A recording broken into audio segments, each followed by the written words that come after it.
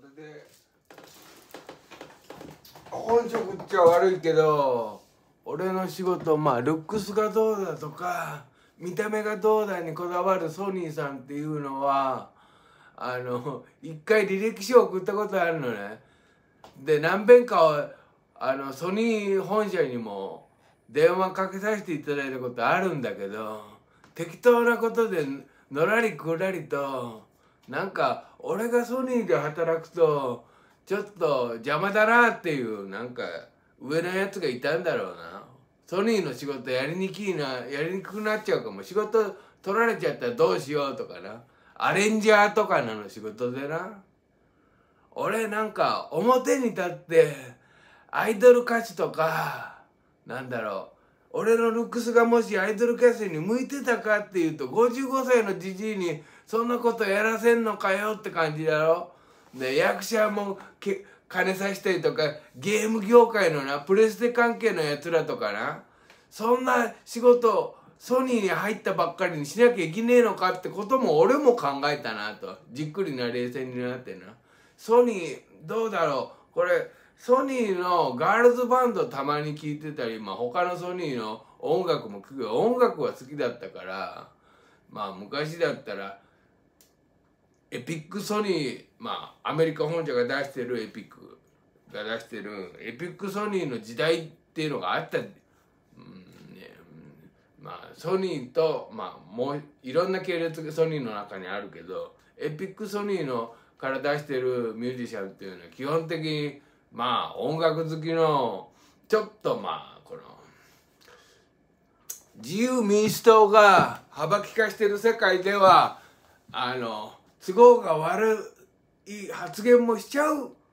ミュージシャンエピクソニーから結構出てたんだよな。日本のな。アメリカ共和党にも都合の悪いようなミュージシャンがエピクソニーからたくさん出てた。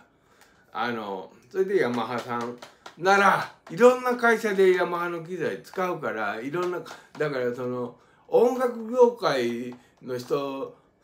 でレコード会社で俺が 契約しちゃうとあの他の社の音楽も俺聴いてるし俺ガールズバンド専門に聴いてる人って言われるとプライベートで本当にずっと聴いていられるっていうのは許せるタイプの音楽ね。あのジャズだったりするからパンクスって噂があるらしいけどそれあの肉体労働の現場仕事での現場仲間でそういうパンクス関係何人何人じゃないけど100%パンクスで構成されたあの仕事現場じゃなかったしヒッピーもいたしジャズおじさんもいたし役者さんもいたしっていう現場で働いてたけど俺のことをそれでパンクくくりで言われるとものすごい怖い人かなっていうイメージをすごく定着させられるとまた怖いかなとか思ってそなんかそこら辺の感じで対応のことばっかり考えてると俺自身のイメージとして俺そっちの方で作んなきゃいけないのかなっていうこともあるしそのガールズバンドにしても、うん、ガールズバンドがその女だてらに楽器持ってるっていうのがそれが日本でもまだちょっとそんなにね活躍する場ってないよね。あのでまあたまたま聞いてるけどね。たまたまっていうかまあ好きだから聞いてんのかな。やっぱりあのその一つ前の動画でいうリビド関係の問題もあると思うよ。やっぱりあのうんとプライベートで聞く分にはね。まあ仕事でそのアレンジャーとしてあのガールズバンドの仕事できるかっていうとそれ結構個人的感情すごく入るかもよってことになるじゃん。まあなってもいいんだろうし社内恋愛が悪い法律でなんかすごいモラルに反することでもないだろうし社内恋愛って日常茶飯事だと思うから他の業者でもねなんだろうけどそのガールズバンド専門のなんかスタッフみたいな扱扱われ方ね、うん、他の社のソニーソニー社以外の聞いてることもあるしだいぶ昔から聞いてるじゃないの。ソニーまあソニーとかまあ大きいユニバーサルとかだったら吸収合併があるんであのいろんな会社渡り歩いたりとかまあ他の会社にいたのにソニーに吸収されたとかユニバーサルに吸収されたっていう業者のその都合でねあのそういうアーティストもいるからまあアーティストにとってはそんなにレコード会社との派閥のしがらみでまあ神奈川県だったらビクター関係が多いのかなとか思うけどビクター、うん、分かんない。神奈川県のミュージシャンビクターしかいないのって言われたらまあ割合としては多いかもなっていうそれ聞いてないかっていうと意外と聞いてたりもするんだけどうんとソニーはまあ社内で揉めてるらしいから俺使うのにね。俺枕営業基本的に嫌いなの。あの社内恋愛はしたいとは思う いやしたいの？いやしてもいいと思うしあのできたら嬉しいことでもあるけどそれ目的でソニーに行くつもりは全くないっていうかあのソニーが枕営業してるかっていうと実際ソニーであのリリースしてるアイドル系のミュージシャンな。枕営業。男で男同士だろうが女ど男と女だろうが。なんかやってそうなやついたじゃんっていう。やってるっていうか事務所関係で枕営業してた事務所のアイドル扱ってたよねっていうな。ソニーがな。だからレコード会社でその枕営業目的な。あヤマハの事務所のアーティストで言うと俺はルックス的には中島みゆきさんだっけ？あの手のまあキム・ヨジョンさん好きだタイプとか言うけどまあにえそれタイプ一緒なのとか石田あゆみさんとかもあの好きなタイプだってああんなタイプまあドクロちゃん系って言っちゃ悪いんだけどあのちょっと一見スレンダーだしまああと誰だろう？えー、秋吉久美子さんとかな。それソニーなのとかヤマハなのって言われると俺には分かんないけどまあ中島みゆきさんはまあ古株の ヤマハのミュージシャンなんだろうなと思うけど俺中島みゆきさんを普段聴いてるかっていうと俺はあんまりあの女性フォークっていうかフォークソングのジャンル自体それほどかなり襟好みしちゃう方だからもうすごく隙間のニッチな方のフォークミュージシャンしか聴かないんで吉田拓郎さんとかっていうすごい有名な人いるじゃんまあ。あと海援隊とかさ売れてるのいるじゃんヤマハ関係の。アルフィーとアルフィーはヤマハかどうか言うけど。吉田拓郎さんもヤマハかどうかも分かんないしまあフォークソングの分野のな。だからフォークソングの分野はもう全然ど素人でど素人っていうかもうその東四郎の世界であの詳しいジャンルっていうとガールズバンド詳しいかっていうとそれも結構好き嫌いありそうだなっていうのもあるしあのジャズの方が詳しかったりすんだよねでもヤマハ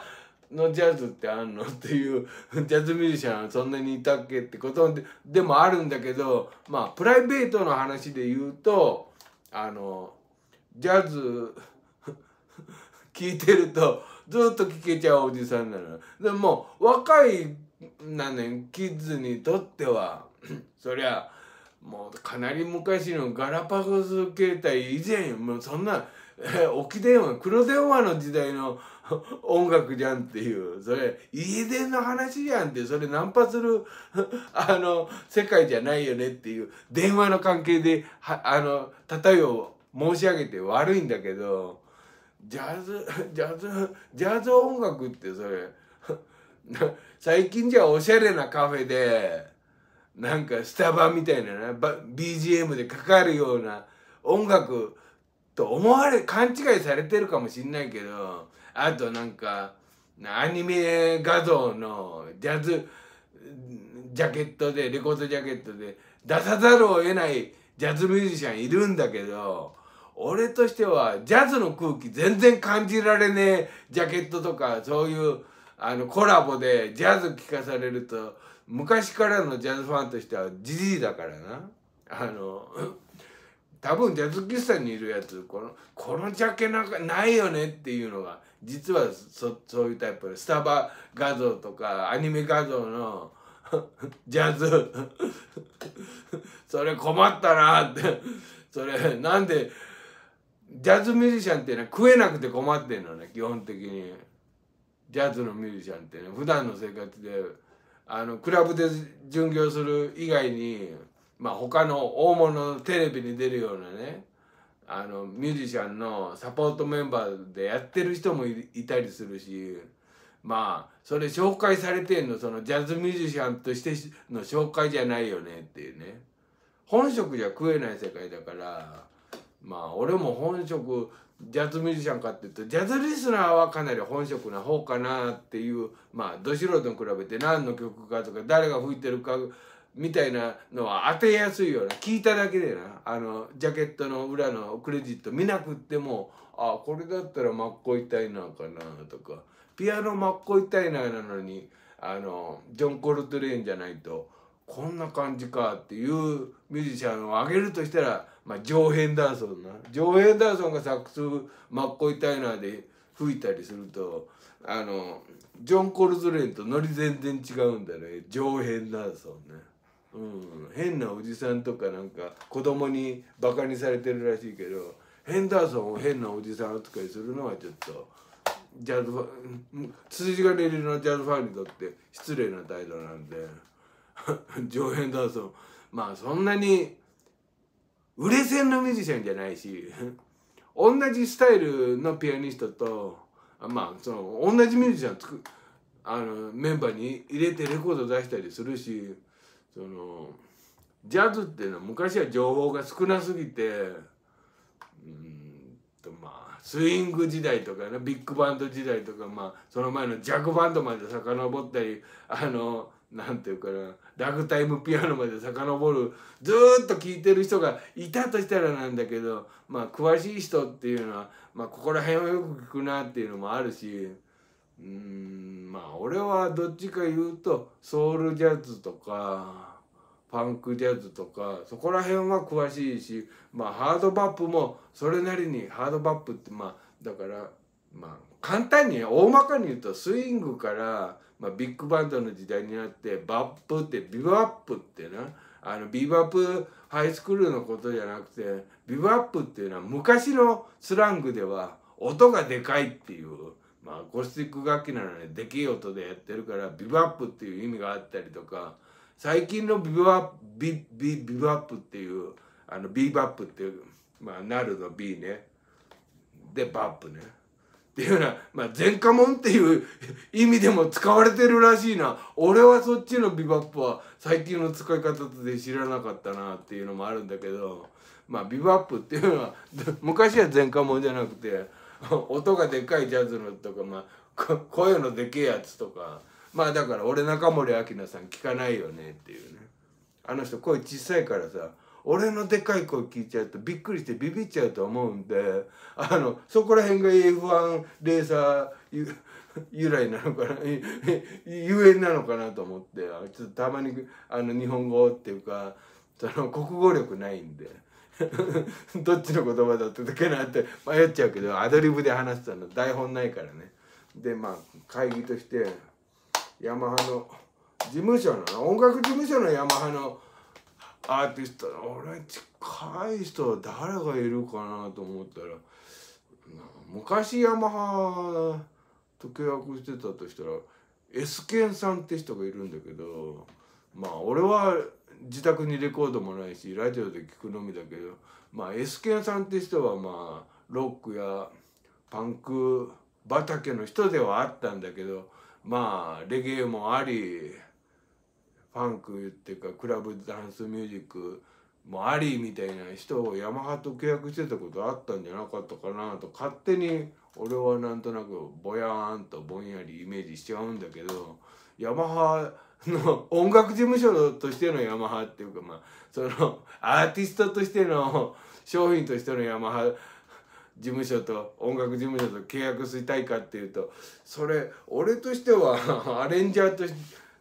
して活躍したいしそっちの能力であるんでその売り物っていうかその表の商品として やるのはこっちを出したいわけでこっちの裏方さんね 俺のルックスがどうとか言われても困るよっていうな。怖いとかさなんかどうなのってじいさんだから使えねえとかそれ表の商品で俺活躍する気ないのっていう元から裏方さんでしょっていうあのアレンジャーとかさ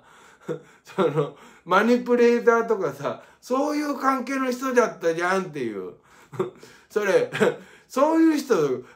サポートスタッフにたくさんいるよ世の中現場にな。君たちと業者違ってても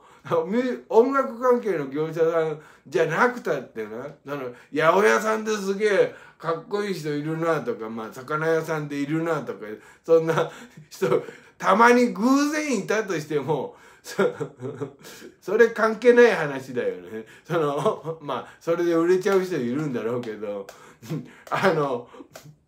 沖に出て魚釣る漁師さんがイケメンだったとしてあのイケメンだから魚が釣れるかって話じゃないからほんとね。だってこわもてだったからなんか魚と喧嘩強いかっていうわけでもなかったりするしね。結構ひょうきんな漁師さんも中にはいるだろうし俺みたいな。分かんないな。それあの漁師さんと知り合いかいるのかっていうとまあちょっとしかいないけどそんなにたくさんのあの漁業関係者と知り合いはいないけどまあ映画館で話だべった漁師さんはいたかなっていう。うんそこら辺の人はまあやっぱりあの魚魚釣ることとか仕事だったりとかまあそれなりの世界だけどね。イケメンだったよその漁師さんはね。あの だけどそれ他のまあプライベートでジャズも、えー、映画館で話してくれたから映画好きの漁師さんだったけどたまたまね本業は 魚釣るのが本魚釣るっていうか魚漁業するのが本業の人だから。だからまあうつろなねあの うつろなっていうかまあ曖昧っていうかまあ昔のなんていうのあの死刑の時に漁師さんがえー、っと猫を船に積んでると台風とかね四季があるじゃん。それ近づくとすごく猫の様子が変わるんだよ。だからあの船に猫を積む漁師さんいた昔な。あの今も積むかどうか分かんないけどその中でも迷信なのか本当なのか知らないけどオスの三毛猫な。まあそれ猫猫分野に詳しい人に言わせると三毛猫でオスって珍しいんだよ。基本的に三毛猫メスなんだよね。三毛三毛の毛並みでオスって実は少ないからそっちの方でレアだから船に積んでたらだけで別にオスの三毛がものすごくあの嵐の日うう馬海原あまあ沖の方出てて嵐に近づきそうだぞって時に猫見て見ると様子変かなっていうのが分かるかどうか分かんないけどね。あのミケだオスのミケだからって理由ではね。だけど あの漁師さんが船に積む猫でオスミケっていうのはすごくあの ブランドもんだったらブランドもんっていうかなんかその船に積みたい猫だったりするんで オスミケね。メスミケっていうのは基本的にまあミケっていうのはメス3色あるやつ茶色と黒と白ね。あれがある 猫っていうのは実はメスがほとんどでオス珍しいんだよ。ね それとあの四季の海海と関係あるかっていうと本当のとこは俺はよく分かってないけどまあそう。まあどうでもいい話だったな。だから S ケンさんねヤマハヤマハと契約したことがあるミュージシャンだったら S ケンさんだけど S ケンさんはアレンジャーではないし表舞台で、まあ、S ケンさんを知ってる人っていうのは認知度そんなにないかもしれないね。どっちか言うと中島みゆきさんだよねっていう。でも俺そっちより S ケンさんの方がまだ近いかなって気はするね。中島みゆきさんはルックス的にその女性としてな まあ好みのタイプではあるかもしんないけどおやってる音楽はそれ言っちゃ悪いけどね看板事務所の看板アーティスト悪いとは言わないけど俺普段に進んで聴くかなっていう感じでまあ例えばガールズバンドにしてもビクターだったりすると昔からいるよね誰だかな。えー、まあいろいろよ。あのビクター関係の女性ミュージシャンいるよシーガルスクリーミンズキサキサ昨日思い出して久しぶりに聞きたいなとか。まあでもあんまり活躍の場はまだ日本でもないんだよね。あの男女平等とか言うけどあのミュージシャンの世界でもねだから楽器を持つ女の子ね。アイドルとして表舞台出る子はそりゃいるだろうけど顔だけ綺麗な子ね、うん、それは眺める用のジャンルの人だからあのミュージシャンではないしあのロックをやる人でもないしっていう感じや。でそのおもっと古株で言うとそりゃいるよ。ガールズバンドの古株っていうと、まあ、ゼルダとかさ水玉消防団。まあここら辺の地域で言うと水玉消防団のファンが多そうかなっていうかまあそこら辺つながりあるかなっていう感じではあるけど水玉消防団自体知ってる人いないかもね。ゼルダさんぐらいだったら知ってるから。ちょっと上の先輩なんだけどちょっと上っていうかまあ まあ知ってる人は知ってるゲームのゼルダじゃないからねっていう、ね、ロックバンドのガールズバンドのゼルダっていうのがあったけどまあそこら辺の時代ではまあいろいろあったけど他にもね あったけどあの水玉消防団とか地域的にちょっと関東でもでもちょっと神奈川寄りだったりするとね。まあ基本的に打ち上げ嫌いなあの先輩だったらしいけどね。あそこら辺近いのかもとか思ったら俺とな打ち上げで付き合い悪いミュージシャンとしてな。そうそうそう。あいつなんか途中で帰っちゃうんだよねでずっと定着してるからさ。俺もね。水玉消防団としてはその後に 社内恋愛っていうか業界恋愛ライブハウス の打ち上げで打ち上げっていうのが今若いミュージシャンであるかどうか知らないけど打ち上げでのその交流会っていうか、なんていうの、社内恋愛と言っちゃ悪いんだけど、その業界内のな、そういう交流があったってこと自体、途中まで知らなかったらしくて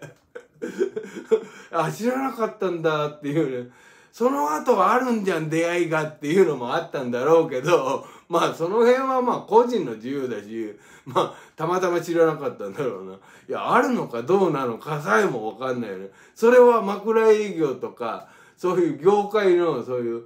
あれと関係あるのかっていうのとはまた違う話だから、まあ、水玉消防団の人たちがね、その、業界内のその付き合い悪かったっていう いう話は聞いてたけどね。まあ俺もそうなんだろうな。男だけどね。いや別に当時水玉消防団に決まった人がいたかもねメンバーにね。分かんないよね。俺もいたかもねっていうね。いたんじゃないの？わざわざそんな交流会出なくてもよかったんじゃないの？出会いとして。だよね。っていう。まあ。いたじゃんっていうな。だからプライベートのことまで干渉したいんだったらそれ大きなお世話だなと思って。それそれと仕事一緒こたりするのっていうことじゃん。だから別の会社の人と付き合う人もいるだろうし。うん。いろんなレコード会社にガールズバンドもいるだろうしね。女性ミュージシャンとか女性ギタリストとか女性ミまあ女性で楽器を持つ人まだ働くとこないからまあ女性の中で好きなの何人かいるとしたら、まあ、それくくりで集めちゃおうかなっていうプレイリストとかもあるけどね。まあ最近よく聞いてたのはあの寝言っていうね。まあ売れなかったけどね。不発に終わったし結局残されたのをボーカルのフロントマンの女の子だけで他のメンバーも全部切られちゃったっていうかなんていうの結婚とか出産とかあったらもう活躍させてやんねっていうのがソニーの会社の経営方針だからそれっていうのは余計女性がその現場で働くチャンスないよねっていうねそういう会社よ。あのソニーってな。いやそれはいいとは思うけどな。そその会社が好きでそこでいるんだからさアニメとコラボしなきゃダメとかな。そういう意味でまあ2017年あたり精神病院に監禁される直前にミュージックプレイヤーに入れてたら4枚ぐらいなデビューアルバムから1234あたりまで入れてたのにシシャモっていうのがいるんだけどまあちょっと若いけどな。まあそこら辺も最近だいぶお気に入りかなっていうのもあるけどその子たちと社内恋愛だけが目的で あの仕事したいかっていうとそれそえっ、ー、とシシャモだったらどっちなんだ？あのユニバーサルか。ああユニバーサルだったらブルーノートレーベルをジャズのプライベートで一番好きなのジャズだからロックとかパンクとかじゃなくてジャズだったりするんで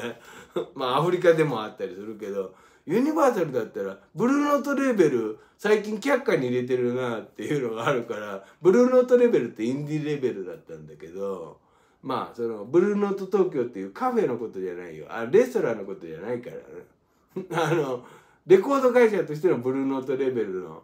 社員さん。まあでも当時の社員いないけどね。ブルーノートでさえもな。違うミュージシャンアーティストと仕事してる人も違うんじゃないの？まああそこもいろいろまああるよな。まあ社長初代社長はなんだっけ？えー、っとアルフレッド・ライオンってな動物みたいな名前だよな。ユダヤ系ドイツドイツ系ユダヤ人か分かんないけどライオン。でそのアシスタント副社長で次期次の社長がフランシス・ウルフって言ってまあ当時ジャケットデザインの写真フォトグラファーだったりした人がまあ副社長になったりしたんだけどまあ使ってるアーティストは基本的に黒人の黒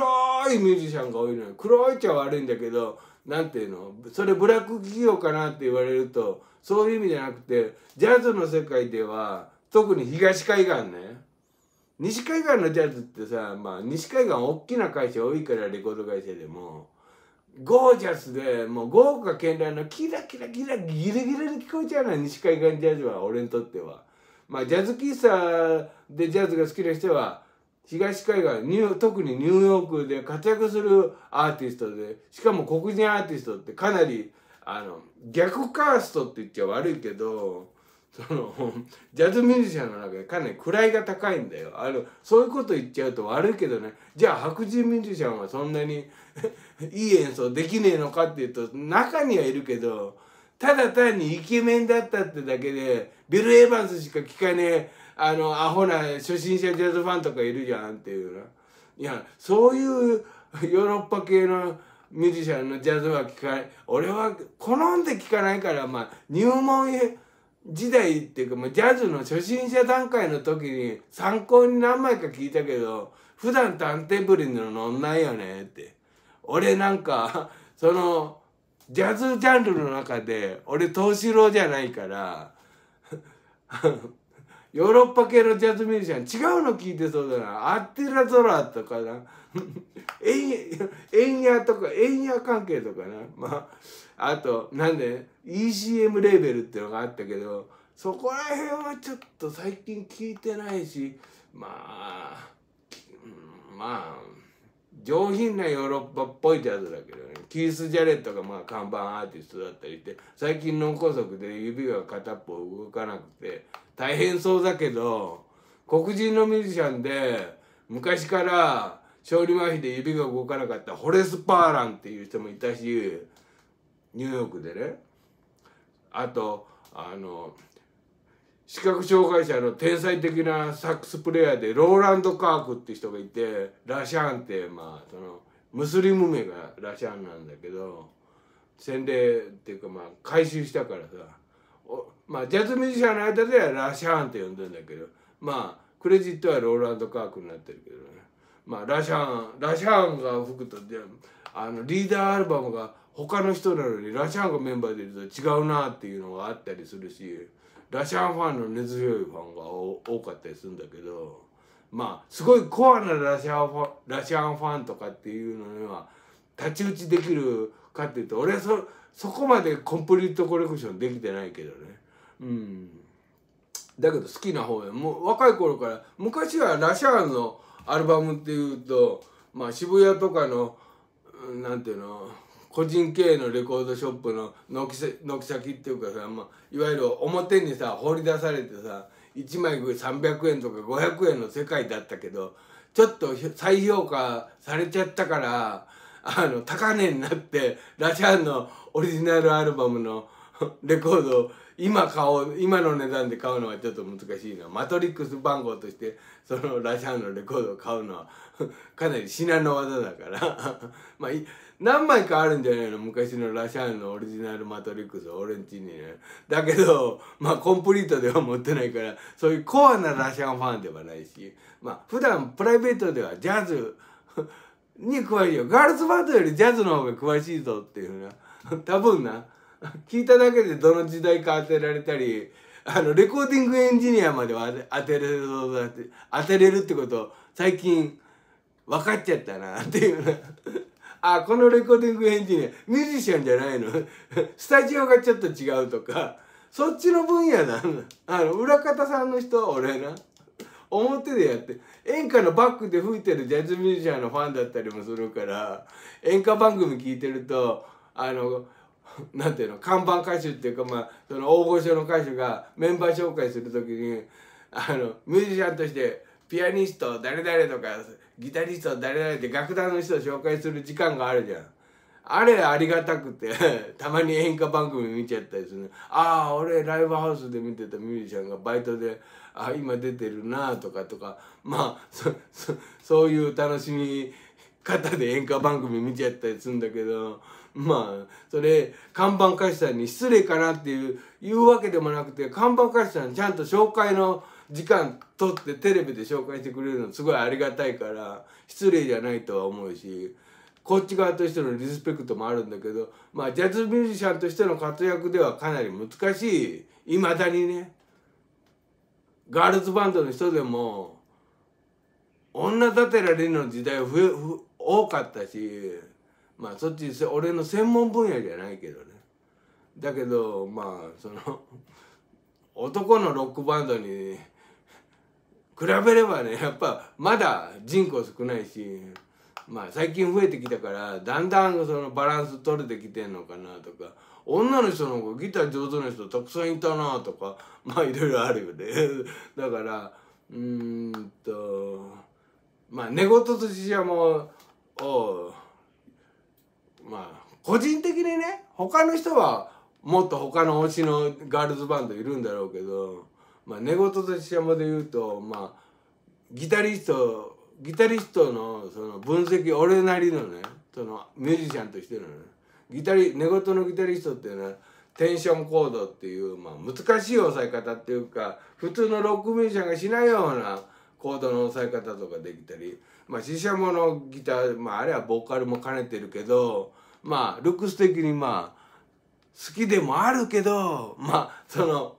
ギターの弾き方ね。あの弾き方とかエフェクターの使い方ね。あんまり難しいことやんないのに本格的な硬派なギターセッティングの音出してるのはこれあの裏方さんついてる裏方さんがそういう硬派なロックのスタッフさんがいるのかなとかそういうことも気になって聞いてたりしてる方なんでルックスだけ見るためにアイドルのファンみたいにね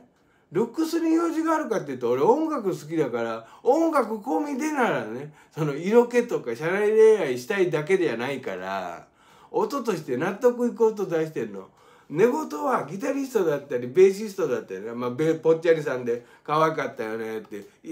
ピック引きだけどまあまあ結構男前な男前女性に対して男前はどうかとは思うけど表現としてな。まあだけどいいベースしててたじゃんとかあるし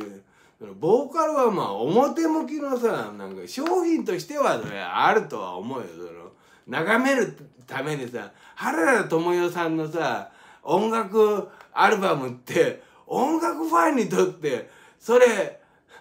必要なもんなのって眺めるようじゃんっていうね。原田知世さんのレコードジャケットに用事があるんじゃんっていうな。それジャケットワークに用事がある人の話だぞっていうな。原田知世さんのいやまた言っちゃ悪いけどね俺の親戚に原田っていうのがいるんだよ。あの親父のいとこの息子が宮大工だから俺の実家昔 YouTube にあると思うけど宮大工さんなのね。あのだから俺の家その宮大工親戚つながりで宮大工さんだからその 親戚同士のそのあるじゃん。その原田っていう宮大工がいたのよ。うちのいるんだよいまだに。俺のまたいとこになるんだけどまあちょっと上、ちょっと上っていうか10ぐらい上かな。だから原田家のあの はからいでね。木材も まあ安くまあその建築家を建てる時にね 親戚の計らいがあったからあの家に住んであんな家に住んでたってだけで俺は別にあの古民家風の宮大工が作った家にそこそれほど執着あるかっていうとまあそんなにはないけどね。まあそれは宮大工さんに失礼かっていうとそういう意味じゃなくて まあ親父の趣味でまあ親父の音楽の趣味とは俺全く逆だったりする。逆っちゃ悪いけど親父は俺の音楽に文句つけたくてしょうがないやつだったんであのそのためにあの宮大工さんの仕事だけがご自慢の家に住む必要あんのっていうことだったりするから俺宮大建築専門分野じゃないからね宮大工 いやそれはもう親戚同士だから言っちゃうけどまあそんなにあの上の位の方の宮大工さんじゃないけど、まあ、宮大工釘を使わないお寺とか神社とか建てるような大工さんなんだけど。まあ その技術を持った大工さんがまたいとこにいる。うん、まあその人、まあ、俺より遠ぐらい上からまたいとこ。だから親父のいとこの息子さんね。その原田の原呼び捨てじゃ悪いけどね。その親戚のなまたいとこの原田君の原田さんの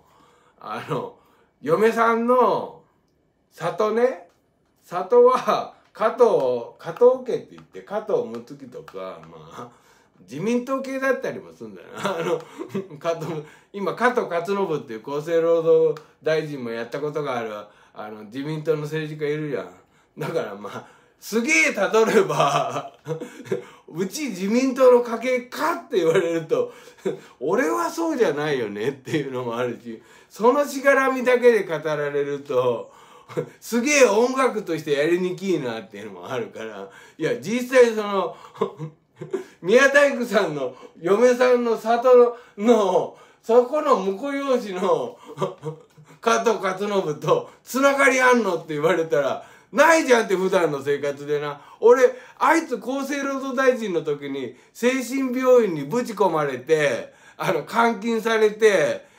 かなり虐待受けてんのに、加藤勝信に助け求めなかったろうっていうな。厚生労働大臣が、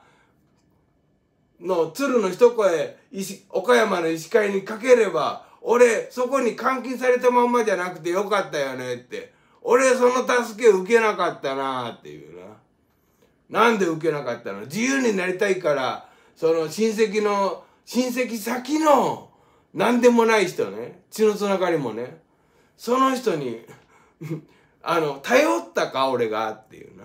俺は頼ってないだろう。ちゃんと精神病院に監禁されたよな。他の患者と許してくれる期間までな。退院してもいいよっていうな。で、精神病院でひどい扱い受けてんのに、加藤勝信に救いの手伸ばさなかった。救いの手を求めなかったよな。加藤勝信でさえも、俺のこと知ってたか知らないか知んないけど、まあ知らなかったから別に、そんなやついたとは知らなかったって感じなんだろうけどな。まあそういう感じで、そっちの方のしがらみだと、俺自身個人の生活があるから親父の生活とはまた別な話じゃんっていうなしかも宮大工さんにとってもかなり遠い話だと俺のまたいとこのなっていう感じだからそれは専門分野からかなり遠い話だなっていう。表看板としてのアイドルとしても遠い話だし。俺アレンジとかそのマニプレートの方が専門分野だろうって。俺のルックスと社内で AI とかそんな枕営業とどうなのって。それ関係あった話よ俺の持ち味っていうか専門技術とっていうな。それです。あのその技術生かすんだったらヤマハが一番仕事しやすいよね。こっちの部部署の人たちね。ヤマハの製品使うのいろんなミュージシャン使うじゃんっていうことやん。ビートメーカーでさえもさミュージシャンでさえもさいろんなジャンルからレコード会社事務所からさ。だったら俺音楽の趣味としてのつながりも持てるしレコード会社とか事務所関係なくね。その交流ができるじゃん。男女とかその枕営業関係ないしでなっていうな。なあまあとりあえずこの動画は長いしまあ明日チェックすりゃいいよ。仕事として見る人はな。どうでもいい話だけどな。仕事の打ち上げ話として見るならそれは飲みながら見てもいいんだろうけどどうでもいい話はなかなかとな。じじいが話してるだけだから若い世代残業したくねえっていうおぶくろ成明ってやつがいるけどああいうビジネスマンがなんか幅利かしてるらしいけどおぶくろってやつな。おぶくろ成明だっけ？島津成明のなんだよ。島津成明ってのが昔藩主でいたよ島津藩でな。それからあやかって成明だなんてつけられてるらしいけどな。なんか今風のビジネスマンで残業してるじじいはちょっとダセえとかわけのわかんないこと言ってるから俺の仕事できなくさせられてんだあいつにな。おぶくろってやつな。あいつちょっと邪魔なんだ。邪魔って言っちゃ悪いけど俺が邪魔らしいからさあいつにとってさおぶくろにとってな俺のこと邪魔な邪魔なじじいらしいからじゃあおぶくろとは仕事しなくて済むしソニーじゃなかったらまあ宇多田ヒカルのサポートメンバーだったりもするんだろうけどなスタッフだったりな、まあ、宇多田ヒカルさんは歌上手だけどまあそのおぶくろってやつのおかげであの俺はお互いね仕事やりにくそうな人だなとは思うね。だからそういうなアーティストとかミュージシャンとしてのつながりで仕事するよりマニプレーターとかアレンジャーとの意見として仕事するならヤマハさんとの仕事すごくスムーズだろうなとは思ったら まあ看板アーティストの。中島みゆきさんには失礼ですけどね。ルックスはすごくお慕いしてるんじゃないかな。あの普段から。あの手のルックスの 女の子は女の子っていうか、まあ、別のタイプでも似たようなジャンルに分けるとカテゴライズするとしたらね。昔からだいぶあの相性のいいタイプだから 相性がいいのかな？分かんない。いや相性がいいとは悪い。一概に言えないかもしれないけどね。ただ単にそのずっとパーマネントだな。あのルックスのパーマネントね。性格も似てんのかなとか思っちゃったりもするけどそれは そのルッキズム見た目でなんか人の性格言わないでほしいとか言われそうだから。それ中島みゆきさんと石田恵美さんと秋吉久美子さんを同じジャンルにカテゴライズしてる俺だけの話かもしれない。だけじゃんっていう。俺は違う。カテゴライズの仕方があんのにっていうやつもたくさんいるだろうからそれは 俺の中でルックスゼロジャンルカテゴライズではまあ好きなタイプかなとは思うけどね。ああいうなんていうの。売りざね顔っていうかね。ドクロちゃんタイプって言っちゃ悪いけどね。あのロックとしてはグレートフルデッドが好きだったりするから。ドクロドクドクロっちゃ悪いけど。まあなんかこうかっこいいじゃんっていう石田恵美さんでもさ実は若い頃はさ V ネック地肌に V ネックのセーターとかもう売りだったよね。あの福山雅治よりもっと古株の人じゃん。大御所の人じゃん石田歩美さんって。あのいわゆるなんていうの？スワインナーなしでスワダに V ネックの看板っていうまあスワダに V ネックって言っても石田歩美さんをお年寄りは多く思い浮かべちゃったりするんだよ。服じゃなかったのっていうの。福山もさ最近のやつだろうって。俺ら世代よりちょっと若いぐらいじゃない。実年齢はあいつよくわかんねえんだよな。コロコロ変わるからさ。まあそれはいいんだけど諏訪田に V ネックの初代の初代というかまあかなり大御所の人で石田あゆみさんっていう女優さんがいるんだけどあのまあ好きなルックスのタイプではあるから。それ言っちゃいけないのっていうの。石田恵美さんと結婚するわけでもないからなっていうの。お慕い申し上げては昔からいるけどね。子供のとこから。おか 自分のおかんよりはちょっと若いぐらいかな。どうなんだろう。同じぐらいかなとか思うけど。おかんよりは若いんじゃないの？石田恵美さんで。ちょっと若いんじゃない？だから、うん、おかんとして見てるかっていうと若い時意外とさ薄着だったりするとまあ当時はかなりあのなんていうの脅威も大きな大きな人のあのドクロちゃんに見えるけどあの人結構バストある方の人だったりするからそういう意味でもルックス的にかなり押したい普段からもう大昔からだよ子供の頃から押したい申し上げてるじゃんっていうの。キム・ヨジョンさんからじゃないよねっていう。まあキム・ヨジョンさんももちろんそのカテゴライズとしては分けちゃうんだけど。そのタイプやっぱりずっともう変わんないよねっていうのがあるから。みんなどう思ってたか知んないけど。ドクロちゃんタイプね。中島みゆきさん入るかなとは思うけど。音楽は自宅じゃあんまり聞くことないかもねっていうね。ラジオでたまたまかかった時。まあ聞いてしまうこともあるかなっていうぐらいでそれ失礼かなと思うけどまあ見た目とかラジオ番組とか聞いててもまあ悪い人にはなさそうだし歌の歌詞としてはあの言葉としてはあのいい人なんだろうなとかいうイメージはあるけどね。あのまあそのカテゴライズとシシャモのギタリストはまあそのギターテックのスタッフがいたとしてそこら辺の音作りはギターの話になっちゃ悪いけど、うん、歪みのギターであんまりリバーブっていうようなその空間系の音を使わないのにかっこよくあの硬派なギター弾いてたりするんだよね。あの普通の恋愛ソングほとんどなんだけどそれがいいか悪いかの問題じゃなくてサウンドの問題としてねこれ硬派だなと思ってファーストの頃から19でデビューしたのかなあれあこら辺の。だからラジオ番組 JU 部でやってた頃から聞いてたからメンバーの一人にえっとメメメンバーの一人に当てたファンレターがラジオで読まれてるエピソードとかも俺覚えてたりするんだよな。そんなこと言っていいのって。まあ昔のラジオだからみんな覚えてるやついるかどうか知らないけどね。あの10代後半から20代前半の頃のシシャモのラジオでのエピソードな。知りたいとか思うけど。まあ言っちゃうから。だからファンのまあ絵の上手ななアニメとか漫画が上手なファンの男の子がメンバーの一人を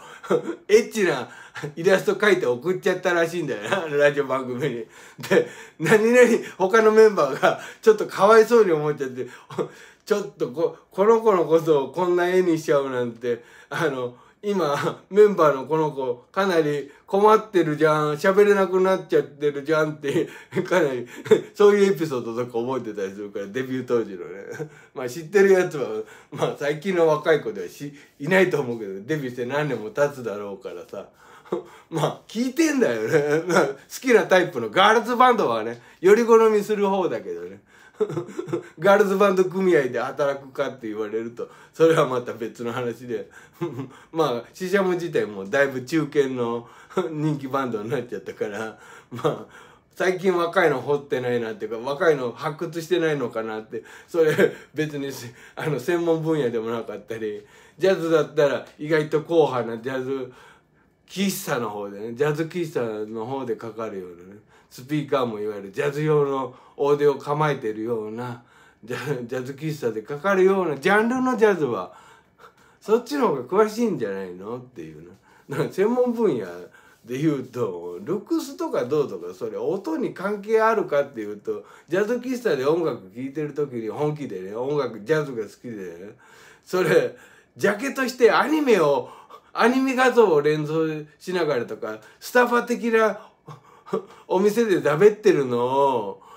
連想しながらジャズ聴いてるかっていうとミュージシャンの息遣いとかなんていうの音楽理論とかを一生懸命耳で追ってる人ほとんどだからジャズ喫茶の世界。いやそうじゃなきゃいけないとは言わないしよく分かってないけどそこであの死後現金の世界だから喋っちゃいけないらしいけどそこでぼんやり聞くのっていうのはあのずっと音を追っかけるのすごい好きなんだよねっていう分か分からずじまいでねそういうお客さんもいるだろうしそれそのスタバで食べるために BGM としてジャズ聴いてる人たちのジャズじゃないのを聞く方だから。それその人たち向けのしないとねバイトっていうかまあだから大御所演歌歌手のサポートメンバーとして楽団でやるとかね。そういうことをしなきゃそれは生活は難しいだろうとは思うんだけどまあ紹介してくれてるからありがたいな大御所演歌歌手の人たちって思いながら眺めてるけどね。あのあんまりサポートメンバーをテレビで紹介することってないからさ活躍してんですよ。まあそれバックの裏方さんで雇われたバイトさんじゃんってあの普通のあの看板歌手が好きな人たちから言わせればそういう世界かもしんないけどジャズファンからすりゃ「ああ俺が知ってるミュージシャンが出てるな」とかちょっと嬉しい。しかも紹介してくれちゃったとかまあだから裏方ファンでもあるしそのあんまりななんていうの。楽屋の楽屋でも大部屋楽屋の 役者さんみたいな世界じゃんっていうな。すげえ難しいことやってんのにあの なんでこの大部屋が大部屋芸人なのっていう楽屋広い楽屋にいるの？個室の楽屋じゃないのっていう。それすごいミュージシャンなのになんでそれあの看板で出てテレビに出れないのって人たちのファンの 世界だったりもするんで専門分野聞く方としてはね。やる方としてはまだまだだけどあの音楽レコードコレクションの世界でもね。まあその他いろいろある。何でも聞くんだけどかなりより好みしちゃう方だしあのまあパッと聞いてすぐ分かるっていうかどこら辺の時代のどこのスタジオの録音かなっていうのそれジャケットの裏のクレジット見なくても大体分かっちゃったりするんでジャズ喫茶の遊びでまあ放課後の遊びがあるんだけど打ち上げのね。そういうのでまああのそれはもうアルコール飲んじゃったりもする。まあ常連さんたちでやる遊びがあってブラインドホールドテストってそれあの暗闇であのエッチすることの話とか思うんだけど実はあのいろんな 有名ミュージシャンにとっていろんなレコードのあのテーマ部分っていうかスタンダードのテーマを吹いてないところアドリブ取ってる部分だけ切り取ってこのサックス誰でしょうっていうクイズがあったりしてうーんとこれはコルトレーンなのかなそれともドルフィーなのかなこれ。フルートかなバスクラかないやなんだろうな楽器の種類でもう分かんなきゃいけない耳があったりするからだからまあラッパーって言ったら普通トランペットってあの素人は思うよな。花形トランペットだったりするしだけど他のラ吹奏楽器ってあるよねっていうね。そういうのを聞いただけでな演奏してる何何の楽器持ってるかを見なくても分かるよねっていうな。好きな音楽好きなやつはね。そうじゃなくて看板のそのアイドルの顔が好きって言うんだったらそれは顔顔専門のファンだから俺音のファンだったりするから顔は個人的にあるよ普段の生活でな。リビドーっていうのでな。でも 別にリビドーを満足させるためにその なんていうの。大御所大御所になってんのかな原田知世さん年的に近いけどね。親戚で原田ってのもいるし他のご近所であの消防隊員の原田さんの奥さんとかもいるけどまあ 一番近い原田って言うと宮大工の原田だな。まああとどこどこにいたの？まあたくさんいるんだけどな。その原田知世さんは眺めるタイプの女優さんで音を聞く人じゃないよっていうな。俺にとってのは音楽好きに耳で聞くからさどっちみち視力悪いからあんまりずっと液晶画面見てるともう失明しちゃうんだよ俺の場合ね特に。音を楽しむ時に見るの必要って目で聞けるってね。目で聴覚 っていうか音楽何やってるかそれ見たところでそれ感情に影響するの？それ音だけ聞いた時と印象全然違ってたりするよねって思うんだよ。だからそれな、まあ、そのビジュアル面とその演奏面でのそのギャップとかまあ一致性とかもあるかもしれないけど俺そっちの 目の方を潤すための仕事じゃないんで 聞く方としてもね。どっちも合点がいくっていういうのもあるじゃんやっぱりな。そんなにガールズバンド専門分野ではないけどまあ女の子の声で歌われてるとやっぱり。リピドー的にどうなのって言われるとそっちかなり健康状態保つのに助けていただいてるなと思うから。それあんまからかわれるような女性ロックガールズバンドの人人の音楽は聴いてもちょっと健康状態悪くなっちゃったりもするんで そういう 健康状態保ってもらうためにはかなり必要だったりもするジャンルではあるかなっていうのもあるしまあその中でもかなり個人の好みかなりきつい方だからきついっちゃ悪いけど音のねあの好みがねあの耳のこれあの多分人と違うんじゃないの？あの売れ線の売れ線っていうかまあルックス目的でファンの人たちとは違うんじゃない？たまたまルックス綺麗だったってガールズバンドのメンバーなんかにいたよっていうのもあるかもしれないしみんな可愛いからまあ綺麗とは思うけど人それぞれ好みがあるけどまあ万人があのテレビで活躍してもらいたいって思うアイドルっていうのはルックス目的とか、まあ、バラドル目的のアイドルでは 目的にで CD 買ったりしないからまあ2017年の入院直前にたまたまあのミュージックプレイヤーに入ってたんでずっとヘッドホンで聞いてたんで。ああそうか。これはこあのこれ女だてらにって言うとジェンダー問題今大変だったりするから男女のね平等の関係で。そういう表現すごいあれだけど実際女の子の活躍の場ないよねっていうのはそれあるかもしれないな。ミュージシャン側としてね楽器を弾く方の人まあドラムなりベースなりなそこら辺ちゃんとできてる場所を与えられるできてるのに場所を与えられる土壌っていうのは最近までなかったりしたからあの いや感情的に応援してたのって言われるとまあそれは否定すると嘘になるけどまあでもまあよく聞いてた方かもねっていうな畑違いにしてはね。うん。多分あれ聞くの飽きないんじゃないの？ガールズバンドジャンルの一部のね。まあねジャンルの中で一番詳しいかっていうとジャズかなっていう感じなんだけど。あの分かるのね。分かる世界。だから60年代後半だったりするとモードジャズっていうのがあってモードとフリーとソウルファンソウルジャズとかファンキージャズが混ざったような世界が90年代になってそこら辺どう表現するよってモードのアドリブ取ってんのになんかスタイルとして音の手触りのスタイルとしてはファンキージャズとかあのソウルジャズだな。だけどモードだしなフリージャズの要素もあったりとかこれはどうなのっていうので90年代前後にね80年代後半から新伝承あ違うわ。あ新伝承派？あ新主流派っていうようになったんだな。新主流派と新伝承派があってまあ似たようなタイプのミュージシャン多いんだけど新主流派は60年代のそういういろんな多ジャンルがミクスチャーされたようなジャズミュージシャンでジャズの中でもねいろんなカテゴライズがクロスオーバーしたような人たちを新主流派って言って新伝承派は80年代に登場してきた当時若かったミュージシャンで昔風のそのモードジャズもありビバップやファンキージャズの要素も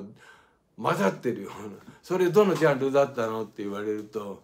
なんか90年代前後も80年代後半あたりまでそのジャンルっていうのは実はなかったりもする。しまあ最近でもいろいろあるような。最近のジャズだったりするとまあ看板で有名どころっていうとあれかな。あの誰だっけ。よく R&B のバックをやるキーボードいるじゃん。うん。まあいるんだけど、まあ、誰だそれ。あれ俺昔の動画にでレコード出てなかった思ってたけどなあんまり普段聞く方じゃないかもなと。ドラムフェチでもあったりするからドラムだったりすると まあ誰だ？えー、っと、えー、ナット。ナットみたいなね誰だっけな何ナットなんとか納豆な な納豆なんとかまあその納豆みたいな名前のやつがいるんだよネイト・スミスか。ネイト・スミスな。ネイト・スミス。あだからあの NATO って日本日本の新聞に書いてる北大西洋条約 NATO っていうのがあるじゃん。NATO か。あれのことを英語表現でネイトって言うんだよネイトって聞こえるんだよ NATO って発音しなくてネイトって ニュース番組で。ネイトって人の名前かなと思ったら北大西洋条約機構の NATO のことだったりするんだけどまあ人の名前でもネイトとかあったりするんだけどまあジャズドラマっていうかそこグルーブやジャズのドラマでまあ有名どころの最近の若いミュージシャンだったらネイト・スミスだったり女性の方のアメリカ本土でまあ結構いいドラム叩いてるなってポケットクイーンって、まあ、PQ って言うんだけどそこら辺とかもう俺結構俺まあ見た目もタイプだったりするから 見た目で選ぶの聞いてんのって言われるといやそうやん見た目いいドラマたくさんいるからいい音出してるなって言ってシシャモのドラムも結構横揺れの重たいの叩く時もあるなとかああの子結構本格的なドラマだな 結構なんていうの昔のロックバンドのかなりあのなんていうのノリのいい乗り物オタクの バンドのドラマみたいなこともやっちゃうような結構ガツンとパワーがあるかどうか知んないよ。あのドラムにその筋力筋力筋トレが必要かっていうとある程度必要なんだろうけど体力とかねそれだけじゃないなっていうような。ノリとしてのグルーブの出し方がロックとしてはその横揺れの方縦揺れのあの女性ドラマだったら PQ がすごいかなとか思ったりとかポケットクイーンね。そこら辺とかまあそういう耳の方で聞いてるかっていうな。目で潤いやいいってもんじゃないよっていうこと。うんもあるから。そのそれ全体バランス取れてりゃいいかなっていうのもあるから。音楽その音の印象がかなり強いから音楽が好きな人にとってはねまあその見た目で用事があるだけだったら全然他の人もいるか もしれないかもしれないあるんじゃないの？見た目で用事があるんだったら俺だったらキム・ヨジョンさんでいいんじゃないの？って言われそうだけどいや俺見た目だけで用事があるんじゃない。かなり音的に結構用事が用事もあったりもするなとかいうこともあるからこれルックスで用事があるドクロちゃんがやってなきゃダメかっていうわけでもないしっていうな。そういう感じ。いやドクロちゃん ドクロちゃんって言っちゃ悪いけどね大御所の石田あゆみさんにね。ドクロちゃんじゃなきゃダメみたいな言い方だけど まあずっと変わんないな。変わんないタイプっていうとずっとあのカテゴライズのルックスではあるけど音楽ジャンルでいうとかなりもっとこだわりそうだなっていう。いろんな細かいとここだわりそうだぞっていうな。条件合うの少ないぞっていうな。それで枕営業とか 契約の関係で言われても困っちゃうなっていうな。困るだろうっていう。いや今から中島みゆきさんと の婿養子になれるなれるかっていうとそれちょっと違うよねって。そういう話じゃなかったでしょっていうことや。まあルックス的に中島みゆきさんは魅力的な人だと思いますよ。だいぶ自分のずっとパーマネントな タイプのカテゴライズの中であると思うけどね。まあやってる音楽的にはどうかそんなにそうでもないのかなっていうのもあるし まあうん。まあヤヤマハのタレント事務所っていうか音楽事務所の中では過去に S ケンさんっていたかな。いいたとしたら S ケンさんに近いかなとか。まあいろんな条件としてそれ枕営業したくてたまんねえやつとか思われちゃったら困るよね。もともと打ち上げ嫌いだったよなあいつって言われるタイプだったんで。タイプとしてミュージシャンとしては 水玉消防団だったじゃんっていうの。水玉消防団のメンバーのタイプだったなっていうの。付き合い悪いやつだったなって。打ち上げの出会いね出会いの場になかなかもうすぐ書いちゃうやつだったよねって言われてるそうだけど。まあそれあんまり用事がなかったんだよ。他でいたからさ。他のジャンルでね。じゃあね。